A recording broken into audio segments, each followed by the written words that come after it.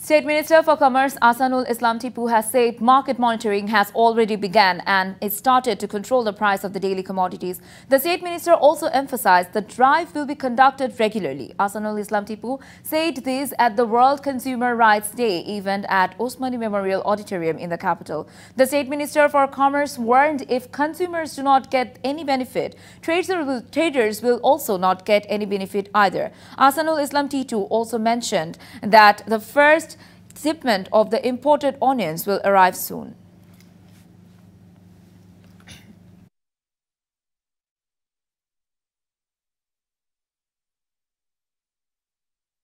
এক মিনিটে Nagad Islamic account খুলতে ডায়াল করুন, চার ওয়ান সিক্স সেভেন হ্যাশ